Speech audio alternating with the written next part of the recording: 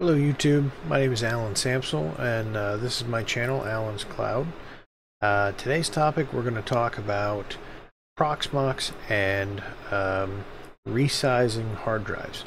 So I don't know how many people have run into this, but um, in the Proxmox hypervisor, when you're dealing with the storage drives of the virtual machines that you've created, you can increase their size, but question is can you decrease the size? And uh, I believe I found a way to do that.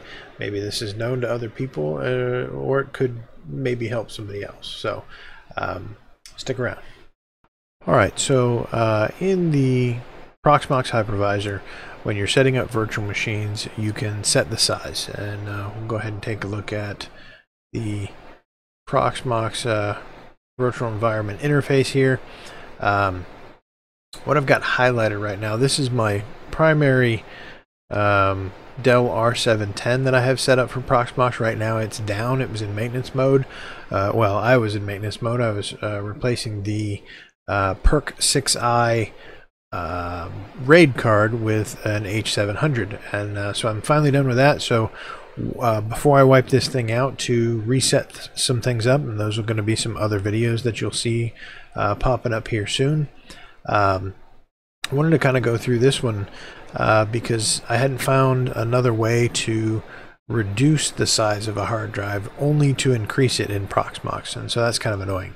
Uh, so what I've got highlighted for you here, I've got a Windows uh, 10 test box uh, set up right here. Um, it's running. I'll, I'll, bring up the window here in a minute, but but right now I'm on the hardware tab and uh, just showing you that it's got 8 gigs of RAM, uh, it's got one socket and 8 cores. Um, you know, the, the pertinent information is, is I, I, when you first set it up, you set it up with the CD drive in there. Um, so that's good. We're gonna we're gonna need that here in a minute. Uh, but you, as you can see, this is the hard disk, and and here at the very end of the line, it shows you the size. Size equals 500G. So that's a 500 gig drive. Um, but it's a bit too large. You know, what if, what if I want to reduce that? Um, is there a way to go and, and change that? So uh, up here at the top, you, have got a couple of different options for the virtual machine itself. You can add another drive. You can add, you know, several different things in there, um, you know, PCI devices and whatnot. Uh, but, you know, I've got this hard disk here uh, highlighted and you can detach it. And if you detach it, um, you know basically it's it's still there it's still associated with the virtual machine. You haven't deleted any of the data but the machine when you boot it up it it, it won't see it. Um, so in some ways that can be useful. Um, you can edit some of the information about the hard disk itself and the most important one here is this resize disk. You know one would think you'd just be able to click that and here you you know resize the disk and um, you know, if I've got 500, let me put a, a negative 200 in this uh, size increment section here and resize the disk. Well, that's not how it works. Uh, so size increment is um, meaning going up. So whatever you put into this box here um, is an addition to the 500 that you've already made it. So, you know, say you wanted to reduce it and you come and you put a 100 in here and you hit resize disk, then you're going to wind up with a 600 gigabyte drive. So don't do that. Lesson learned. Um, so, I, you know, I was struggling with this. How do you go about, you know, making that hard drive smaller? Well, when I got to thinking about it, you know, Proxmox is a virtual environment. Um, you have to approach it like you I would with a um, you know an actual physical machine. So if this was a, a real computer, and I had you know one boot drive um, that had a partition on it and I wanted to copy that partition over to uh, a different you know hard drive. I, have used in the past I've, I've taken uh, you know boot partitions from larger hard drives and I've you know ghosted them essentially onto um, uh, you know created a smaller partition first and then ghosted that onto um, you know, solid state drives to, to get faster boot up times and things like that. Well, it all has to fit first. And so, so, you know, I've, I've, I've gone through that process physically. I thought, well, you know, maybe that'll work for virtual machines. And uh, it turns out it does. Um, so one of the things that you can do here is uh, the first thing you're going to want to do, and the reason why I'm running the, the virtual machine right now, let's bring that up, is um, you want to go in here and, and uh, you know clean up anything you've got in there. You got extra files, anything that you don't actually need. Um, you know, skinny it down. So we're going to empty the recycle bin. Um, you know, get rid of, of any of the files that you had in there that you don't need. Um, and then we're going to actually go to. I, sorry, I can't see it past the camera. We're going to come here to the disk management. So here in disk management, you can see that the capacity for the virtual drive that's in this um, you know virtual machine. Uh, right now, you've got your C drive. Uh, it's, it's all NTFS, and and you've got a, a, system reserved, which is was what Windows creates when you when you install it this way. Um, so between those two, that's your 500 gigabyte drive. Well, down here, your your your disk zero, 500 gig online. The reserved piece is there. This is your actual boot drive. If you right click on it and you click on shrink volume, um, it's going to take a minute. It's actually going to look at uh, all of the available hard drive space and it's going to pop up um, with this this box here that tells you what it was to begin with and the size of available shrink space in megabytes. Uh, so whatever it comes up with, it might be you know um, a bit bigger than you were thinking, um, but you know for some reason this is the algorithm that, that it chooses and and says you know maybe there's some swap space in there. I, I don't know exactly why Windows does it this way. Um, I was thinking that you could you could you know save a lot more space than that, but uh, whatever that setting is, just hit shrink and and and let it um, go about basically resizing the partition for you. So you see that that happened. It's uh, 254.78 uh, gigabytes right now, and uh, the unallocated space is the 244.68 uh, gigabytes here on the side. Um, so this is perfect. So right now we can shut down the machine, and um, and I'll show you how to uh, essentially copy, you know, ghost these partitions over to a new smaller virtual machine hard drive uh, and it will boot up. Um, and, and basically what you're leaving out is this other 244 gig here. So when we create our new virtual machine for the, the, the uh, when we create our new virtual disk for the virtual machine that we're going to copy to, we need to make sure that it's big enough to contain all of this. So we're going to make it um, say 270 gigabytes. Um, something goes a little weird when you're when you're working with these things in the raw mode, and and they it looks a little bit bigger um, during the process than it I think really is, but um, it does work. Uh, so now that that's shrunk, we can actually turn off the virtual machine here. We'll power it down. Okay, so now that the virtual machine is powered down, uh, what we're going to want to do is, is stay here in the hardware tab um, and we're going to go ahead and we're going to add another hard disk and uh, like I said we're going to make it the same kind that we did before. So when I made these virtual machines before it's not the standard right now uh, which should be the VirtIO uh, SCSI, but I did make this with VirtIO block, and when I did some testing before on this, I couldn't get um, a virtual machine transition from one virtual hard drive to another the way that we're going to do this and uh, change it from one format to another. Couldn't get that to work. But you can go with whatever you had it before, and I had VirtIO block, to another VirtIO block. Um, so we're going to put it uh, on a different storage. Um, uh, something about the the I/O here of, of these devices. Um, you you can you know shift it around once you're done back to the, whatever hard drive you want to run it from. But um, you know if you've got two hard drives in there that you can copy from one to the other, that's going to be the quickest way you're going to be able to do this. Uh, so the backup uh, is the, the hard drive that I want to use uh, to create the other hard drive. And again, we're going to make it, uh, what did we say, 265 uh, gigabytes before. So going from 500 uh, to 265. And with these, I used write back for the cache. And that should do it. So it's going to go ahead and create that VirtIO 1 265 gigabyte disk right there. So um, let me show you what I've got. Uh, well, here I'll show you in the browser. Uh, G4L. Um, so this is Ghost for Linux. Resize that. Uh, it's a, a, hard disk partitioning tool. Um, I used Parted Magic for years. It's a great little boot disk. Uh, you can find the ISOs out there. Uh, you know, Parted Magic has the G-parted system in it um, for resizing things, and you know, one of the tools that it had in there was was a, uh, a you know cloner. Um, well, the one that it had in there didn't really work very well, but they had a, a, a different, well, they actually had a, a, different suite of tools in there. And one of them was uh, Ghost for Linux, G4L. And uh, so I've used that one several times, and it turns out uh, instead of having to boot up um, a complete ISO, a, you know, complete Linux operating system and run these tools, which you can, um, that's still an option.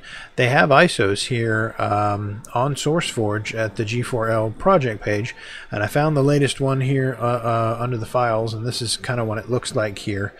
Uh, with these images, and, and I'll go through it here in a minute. But here under the files, if you go to ISO images and you scroll down kind of halfway, this is the latest one. This is the one that I'm using, the G4L uh, version 0.55 ISO. Um, it's uh, from 2018, so it's not that old, and it's only about um, you know 80 megabytes, so very tiny. So uploading that into your uh, Proxmox PVE or to wherever it is you are storing content, I happen to have mine in here, and so I uploaded it real quick, and there it is. So what we're going to do back here in my test box um, uh, again, I've got my uh, original drive that has the boot disk on it, and uh, we also have the VirtIO one that we just created, 265 gig, which we're going to transfer the information over to. So we're going to take this CD drive here, we're going to double click it, and we're going to pick our local storage, and we're going to pick that G4L ISO. And we're going to use that as our boot uh, device. And so to do that, we're going to check options first and make sure that here in boot order, the CD-ROM is the first. Um, so when we're done with this, an important piece is this VirtIO 0 disk was the original one. So when you um, uh, are done with it and we detach it, and that's going to be one of the final steps, you're going to want to come in here and double click on this so that you can set that uh, to VirtIO 1. And that's going to be the new um, you know hard disk that you're going to want to boot to. So uh, just just another pro tip there. Uh, so back here under hardware, we've got our uh, boot media set up. It's going to go to the CD drive first.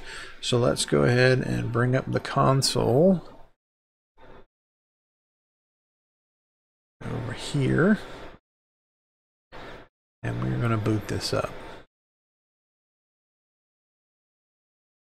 I'm going to make sure we have local scaling on. Okay. So, in the first option here, you're going to want to hit enter. And this is the one that it's going to boot.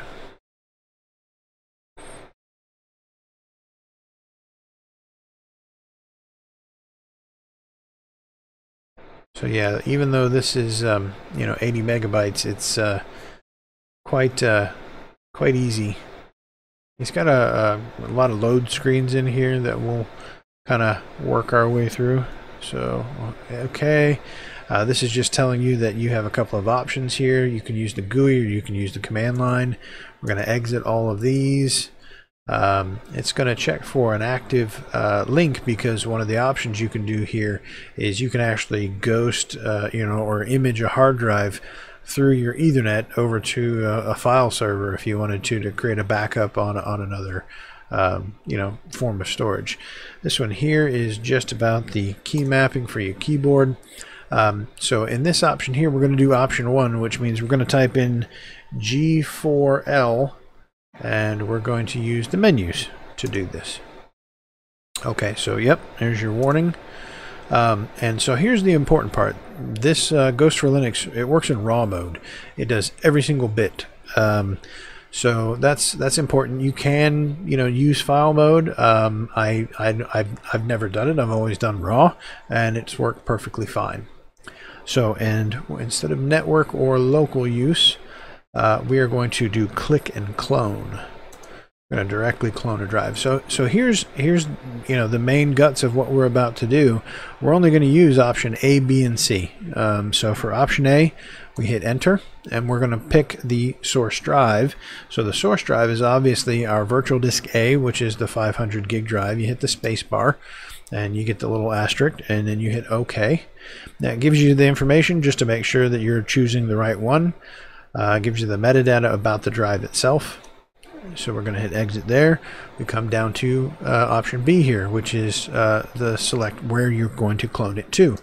So your target. And for that one, we're going to go to virtual disk B and hit our space and select that.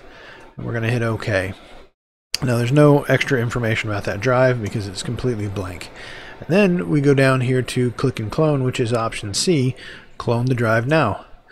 Say, uh, are you sure? You know, this is what you're going to do. Move uh, every bit from uh, drive A to drive B. We're going to hit yes. So, um, you know, depending on how big the hard drives are, how much information you're switching over, uh, the type of hard drive, uh, whether or not it's a SATA drive versus a SAS drive versus an SSD, um, is going to determine how long this is going to take um, you know the the speed of the the RAID cards or host bus adapters that you have, the the speed of the hard drives themselves, whether or not they're you know three gigabits, the cache sizes, all of that can factor in into how long this process is going to take, and also this warning here at the top, um, you know if you're not using a 500 gig drive to a 500 gig drive, which we're not, the information here isn't going to be accurate. So um, the one thing that I like about this program is just because you're mismatched in the size of the disk that is your uh, source and your target doesn't mean that this uh, program is going to stop. It's going to keep going and, until um, it can't any longer, uh, which was the difference between the other cloning programs that, that I tried on Parted Magic. It just it wouldn't work. Um, it uh, you know noticed the size difference in drives and it didn't care that the partitions would actually fit.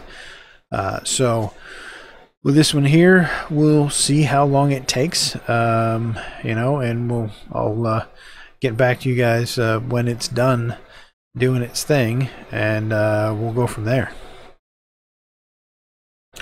Okay so here we are at the end. Um, as you can see the clock has stopped. So this thing counts itself, and we're at 36 minutes and 34 seconds, but uh, it's actually been going on, you know, for a little bit longer. Uh, but but as you can see, the progress bar stopped at 52.95 percent. Um, and uh, what is it? 271,128 uh, megabytes uh, has been transferred of the 512 and and that's it. So because the hard drive uh, that you are transferring from is bigger to the smaller one, this you know when it's done, this is what's going to happen. It's it's just going to freeze. Um, so with it being complete like that, there's there's nothing else for you to do uh, at this point. Uh, it, it's all been transferred over. So uh, one of the things that you can do here in Proxmox is just go ahead and uh, stop the machine.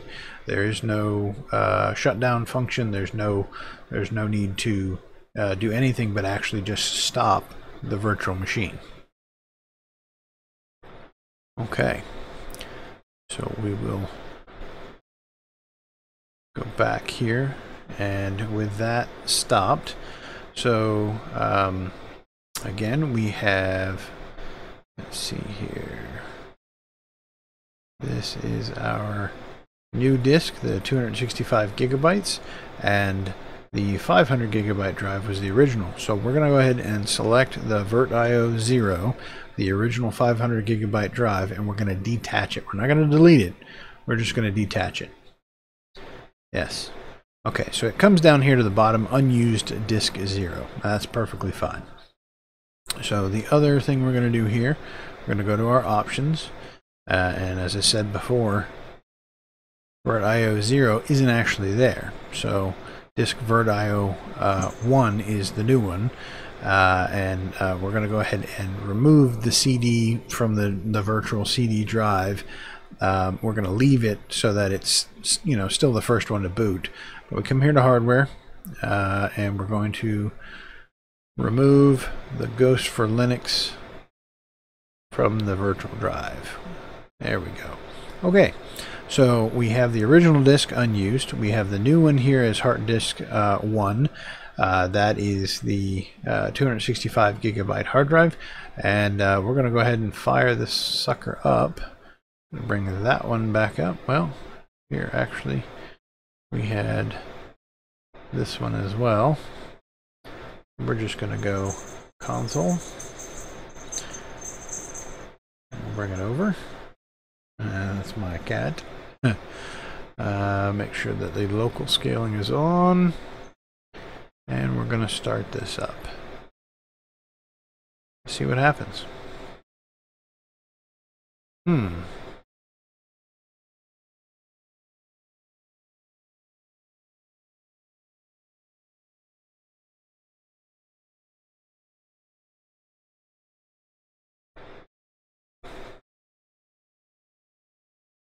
There it is. It was actually firing up.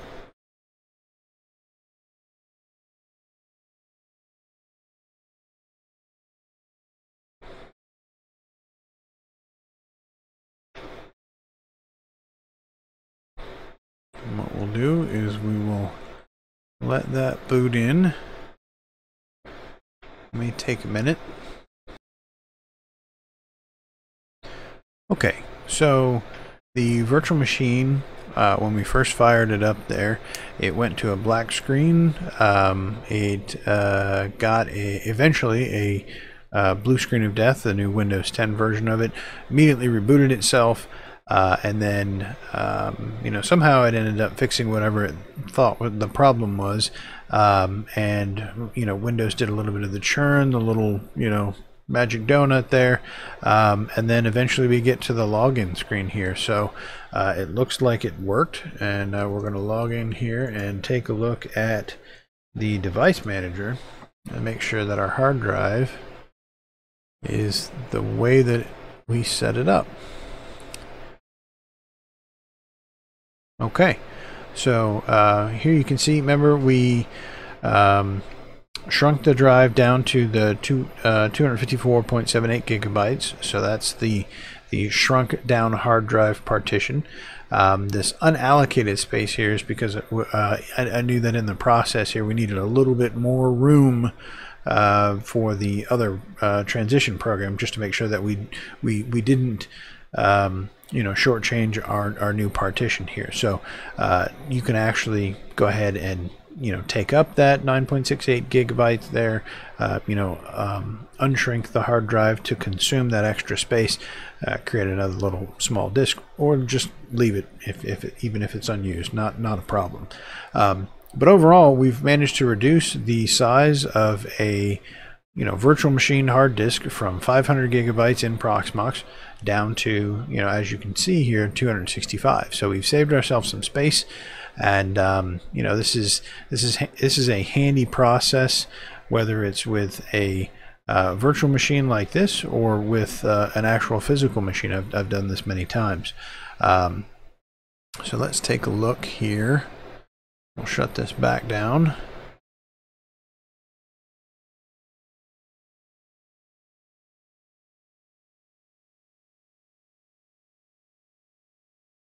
While that's shutting itself down uh, back here under the hardware again. Uh, now um, that that disk drive, the original 500 gigs, um, is is is right here, and it's on this storage space here, hard drive three for me. Um, so we can go ahead and at this point click on it and remove. And when we hit yes to this, it, it warns you it's going to permanently erase all of it. Um, there you go. It's going ahead and it's deleting it. Um, now with this this video here, you know, on, on this particular uh, test box that I had set up, this was from quite a while back. I had set this one up with the uh, EFI, uh, so the BIOS for this one um, you know, I don't think I'm actually using that EFI disk.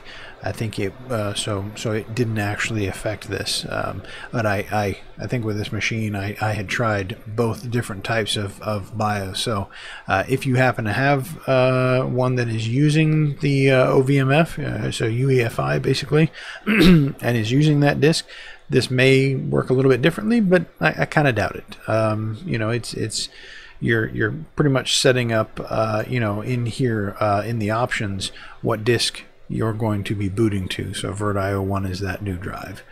Um, so uh, you know here lesson learned this is pretty useful. Um, if any of you have ever you know wanted to shrink down uh, an operating uh, system um, I assume it's a very similar process on Linux. I'm, I'm, not exactly sure of what commands you would run to, you know, sort of uh, shrink the partitions on the Linux uh, box, but um, I assume you'd run the, the exact uh, same kinds of things. You go in there and clean up some of the disks, and then you could run, you know, something like gparted, change the partition sizes uh, for the Linux machines, and do exactly what we did here. Create another disk, you know, ghost the information over and um, make sure it boots up okay, and then you can delete the original disk. Um, so that's the theory. Haven't done it for the for the uh, Linux machines, but if I get this to work for a Windows 10 machine, I, I can't imagine it wouldn't work for Linux as well. Uh, so I hope this was useful. Um, if you've got any questions, um, you know, leave a comment down in the comment section uh, if you if you liked it, if it helped, something you might find useful. Um, you know, uh, again, give me a comment and uh, give a like and you know uh, subscribe to the channel. I'm trying to uh, build my subscriber base here. so have a good one.